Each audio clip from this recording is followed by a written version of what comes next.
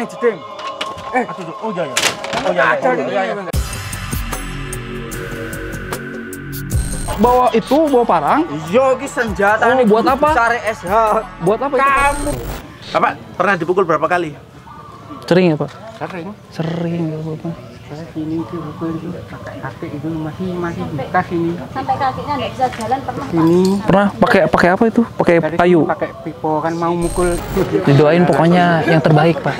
Ya, buat Bapak. Sabar aja lah, mungkin ada jalannya gitu nanti ya. Kita berusaha. Nah, itu benar. Hebat, tabah.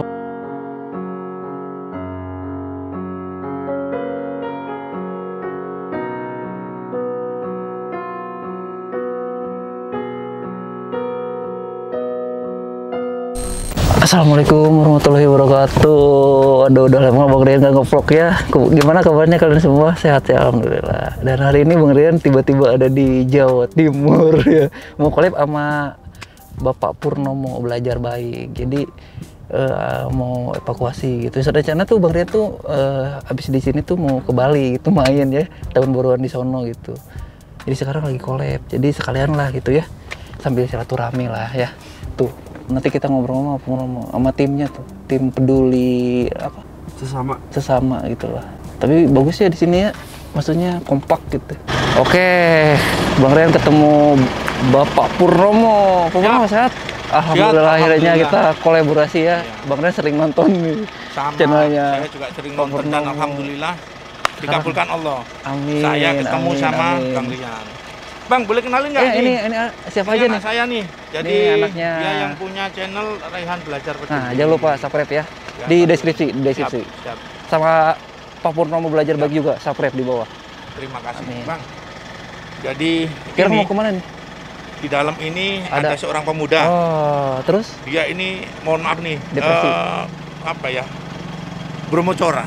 Ah. Jadi dulu dia sering berurusan dengan polisi. Jadi karena dia dicari polisi sehingga dia sempat melarikan diri ke luar Jawa. Kat- dia kata- depresi. katanya punya ilmu juga katanya. Iya, jadi Oh, kemarin Akbar. sempat eh, sempat eh saya mandiin, ya sempat saya mandiin. Oh, udah pernah juga. Tapi Sudah. ada kontennya ada.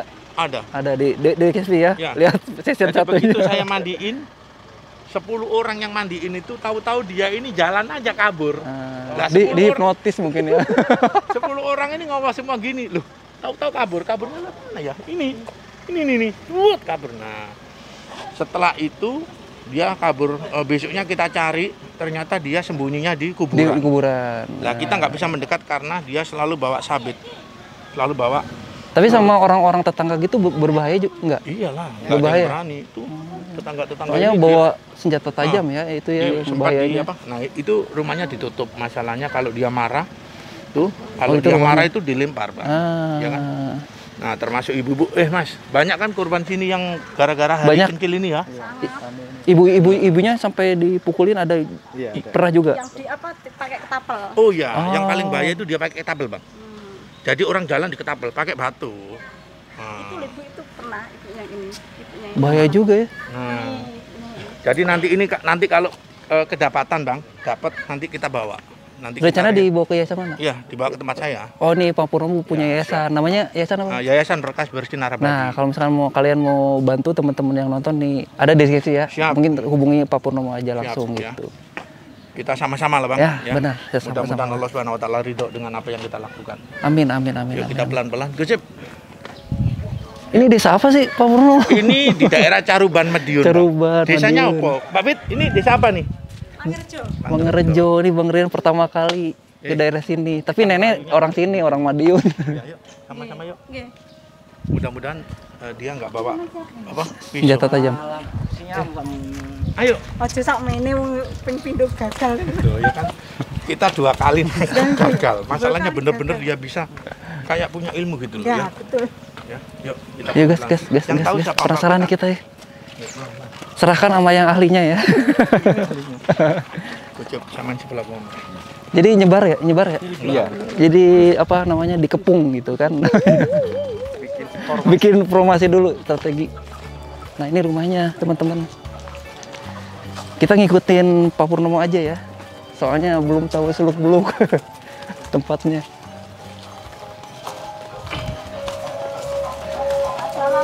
Mas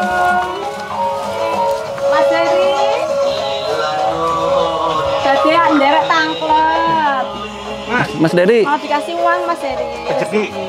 Bukan punya saya. bukan? Saya kasih. Ayo mau enggak? Ayo masih inget sama saya enggak? Loh, Mau Nanti kamu, jalan- Pak. jalan-jalan? enggak. Jalan-jalan yuk. Enggak. Masih repot saya. Sampean masih repot. Masa ya? Masih masih Oh, repot. Bete di rumah terus, mending jalan-jalan. Mau nggak? Masih repot saya. Oh, masih Mas repot. Dery, aku bareng-bareng-bareng kok. Yo matur nuwun ko ya. Mas Dedi, kapan be- kelarnya kapan itu masak? Nanti kalau saya? Gak repot, gua aku dolan Oh, terus. nanti di, nanti dikabarin. Apa itu artinya? Artinya apa? Apa? Artinya apa? Gak ngerti. Saya- nanti kalau saya enggak enggak enggak sibuk, tak kabari nanti baru Bahasa Indonesia Mas Dery masuknya Ini kan? translate ya. Ya, pakai bahasa Indonesia. kebelet. Oh. Eh kono jeding, Di mana? Ini jeding. Aduh, aduh. oh iya ya. Oh iya, Ada iya,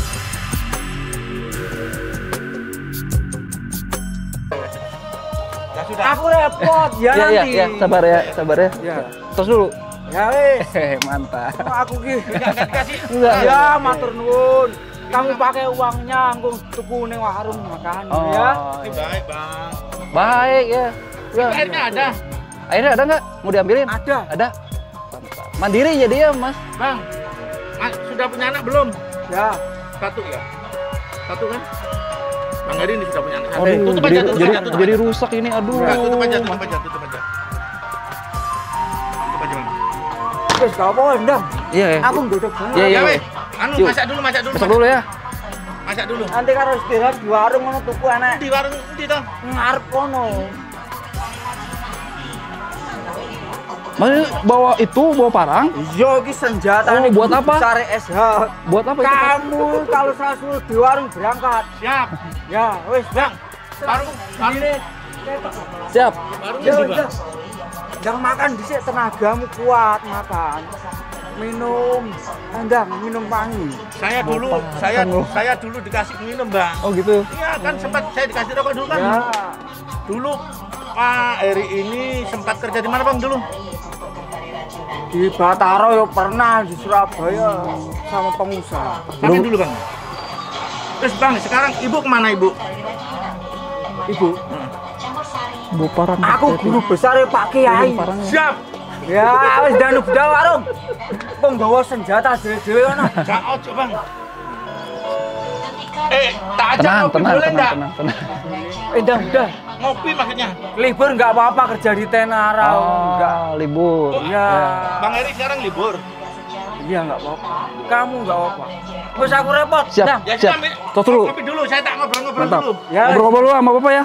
ya nggak apa. Ya. Depan sana. Yuk. Siap. Eh, tes dulu dong. Ya, wes. Ndang, depan Gak apa-apa, sana. gak ganggu di depan, gak ganggu Nggak kan? apa-apa, Ya. Mantap.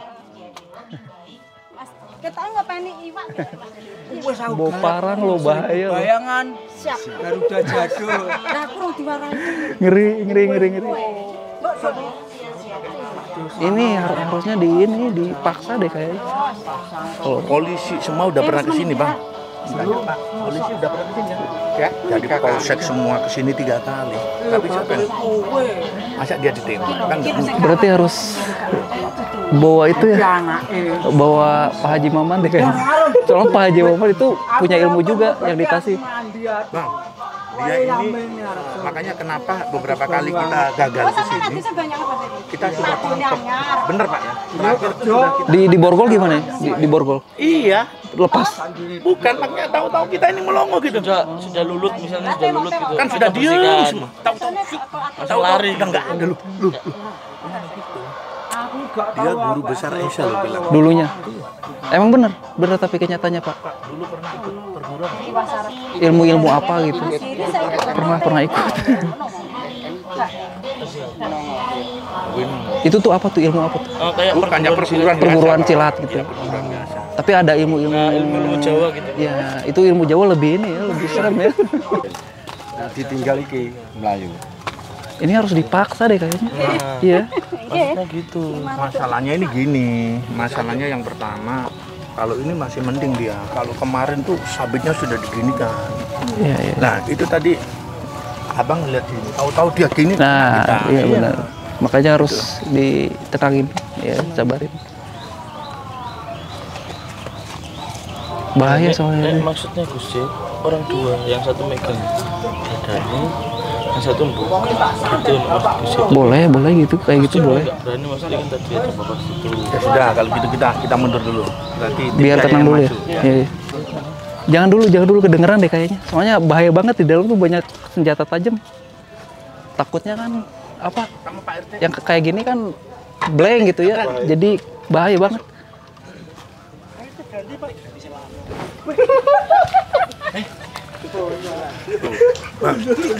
Ganti pisau yang lebih tajam tuh. Kalau saya Bahaya. cuma kalau saya cuma batu sama kayu nggak apa-apa bang, saya tetap maju. Masalahnya pakai ini. Pakai Abang tadi ya? waktu ngobrol aja takutnya. Kita udah siap-siap. udah. Ini pertama kali loh Bang Rian. Ini evakuasi begini. Itu saya nangkepnya kayak gimana? Orang Papua kan polisi punya borgol ngapain kita bawa borgol? Ada kerjaan. Masalahnya nangkepnya itu yang susah. Bener-bener lari cerat lari. Ya.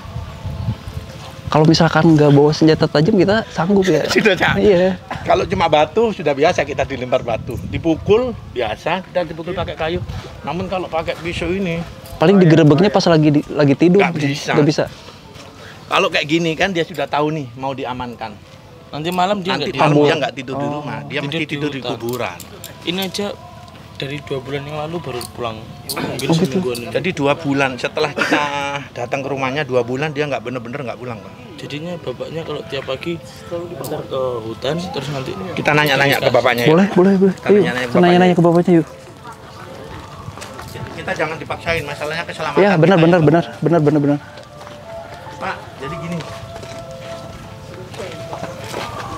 Saya maunya kan Harry saya bawa karena memang meresahkan ya Pak. Ya. Jadi ini eh, keterangan dari warga bahwa Harry ini benar-benar meresahkan. Yang paling berbahaya itu Harry pada saat bawa ketapel. Jadi kalau bawa ketapel itu kena ibu-ibu mana? Ibu-ibu situ ya yang kena ya? Ada korbannya ada. Ada sama sini ya biasanya pakai ketapel pak ya. Ketapel itu kalau diisi kayu, eh diisi batu kena kepala bocor. Pihak kepolisian Polsek Koramil sudah beberapa kali berusaha ke sini, Sudah, saya, tapi tidak berhasil. Saya sudah laporan ke polsek Nah, kali. kalau bisa, gini Pak RT, kalau bisa loh ya, sampai lapor sekali lagi ke Polsek sama ke Koramil, Pak minta tolong ditangkapkan anak saya, nanti pokoknya ditangkapkan saja. Kalau sudah ketangkep, nanti sampai hubungi Mbak Vita, Hmm. nanti saya sama tim ke sini ambil saya bawa ke rumah saya, saya rawat. Masalahnya bukan kok saya nggak mau Pak, saya punya istri ya, masih cantik istri saya. punya anak lagi lah. Sekarang lebih panjang ya aritnya.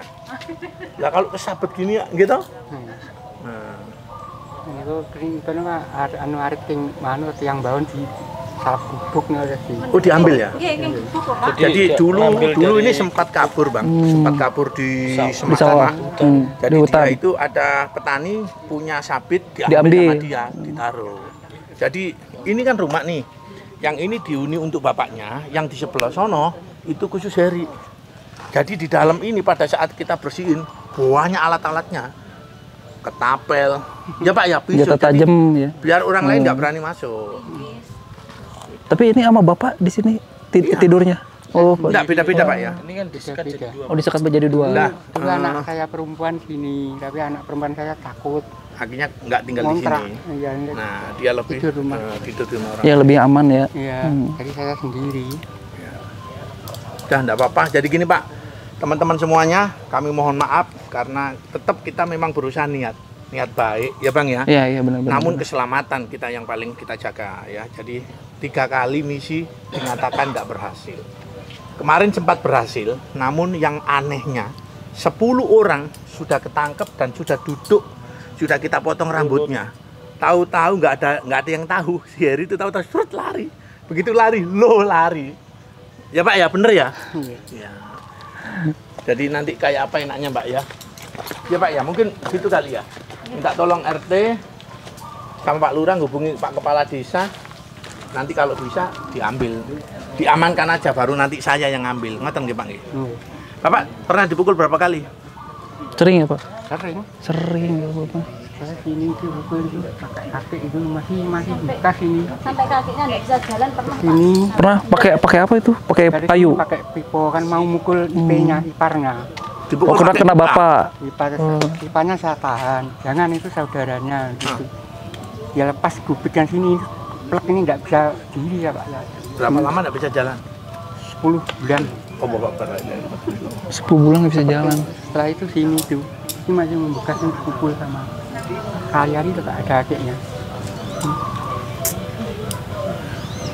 Iyalah, nggak apa-apa. Udah siap-siap bapak ya. iya Jadi rencana itu mau dievakuasi ke yayasannya Pak Purnomo gitu. Cuman apa namanya bawa senjata gitu ya. Bahaya. Bapak kerja apa? Kalau misalkan nggak bawa senjata kita sanggup soalnya banyak kan ini. Tani. Takutnya langsung ya. Tapi next lah mungkin ya hari-hari nanti nunggu nunggu Pak Herinya aman gitu. Baru pertama kali loh. Ada nggak? Rumahnya di sini. Ke sini rumahnya tuh. Kalau itu aman dah. Aman ya di sini? Aman, Hmm, karena disekat ya. tidak sekat. Hmm. Takutnya lagi tidur, tiba-tiba kan banyak kejadian gitu ya. Lagi tidur tiba-tiba saya itu raja mas dipukul gitu kan. jika saya itu anu ya itu sudah Allah saya Ya, ya, ya. pasrah aja Nanti kayak Pasrah aja ya. Iya, saya enggak mau sampai itu anak saya saya kita Didoain pokoknya yang terbaik, Pak. Ya, buat Bapak. Sabar aja lah, mungkin ada jalannya gitu nanti ya. Kita berusaha. Nah, itu bener. Hebat. Tawa-